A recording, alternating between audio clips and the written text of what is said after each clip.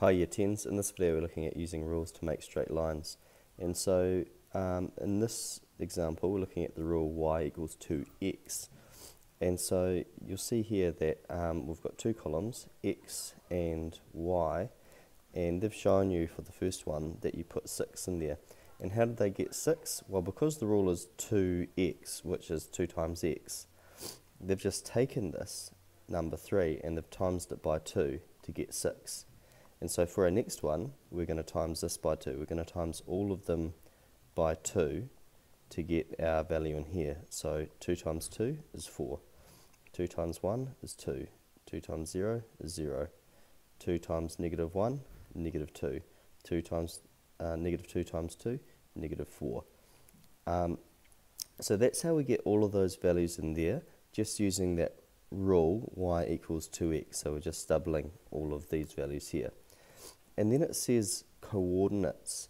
And so you can see here that they've got 3 and 6. And that comes from 3 for the x coordinate and 6 for the y coordinate.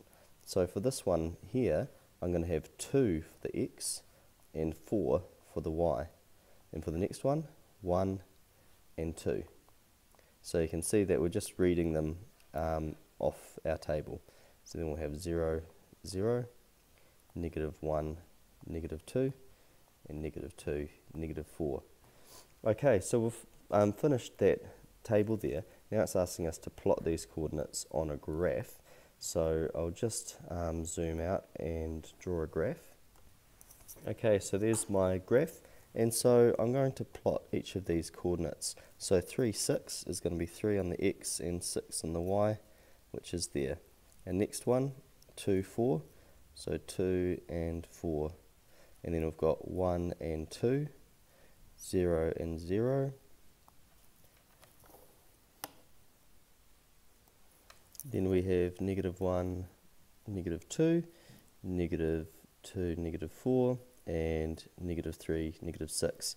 Uh, now it just says plot the coordinates, and so that would be enough, but our next step from this would usually be to draw a straight line through these and so you just draw a straight line through all of those points um, to show that even in between points work for this rule.